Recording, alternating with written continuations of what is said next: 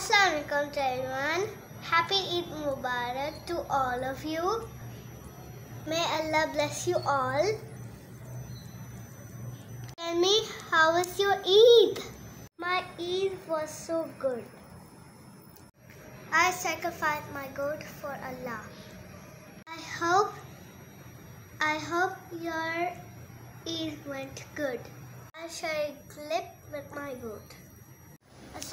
everyone. This is Umer. This is my goat. This is so cute. Got white and brown. So many things. Got ears, eyes,